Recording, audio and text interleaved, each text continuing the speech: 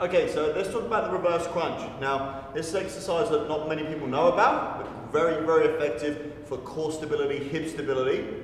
Now, first thing I'd advise, grab a heavy kettlebell. I've got a 32 kilo here, because you're going to want to use it for a little bit of leverage. I'm going to perform the movement, then I'm going to run you through it.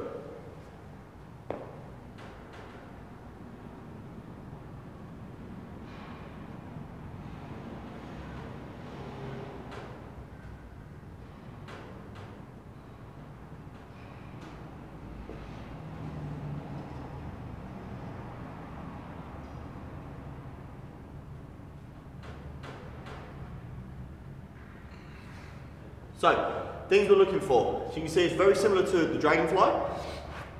What I want you to make sure you do is you're actually trying to pull your knees and crunch yourself backwards. Like a crunch is like so. You want to do, use your lower body to really crunch the abdominals on your way up. Kick your legs as high as you can.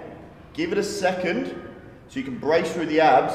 And then what I want you to think about is let the heels go first. Let the heels drop first and then try to resist them touching the floor. If you can't get all the way up, just reduce the range of motion, it's fine. You could, we have people at the moment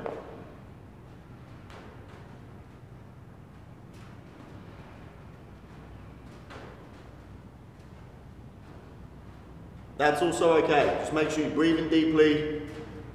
Use your lower body to crunch up through the abs, legs high.